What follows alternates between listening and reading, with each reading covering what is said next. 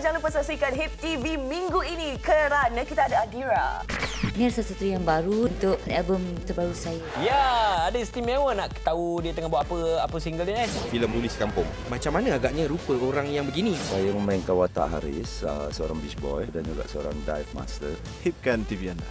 Nak tahu lebihnya, kena bersama kita Hip TV. Yang penting, hipkan TV anda. Terbaik. Lambat.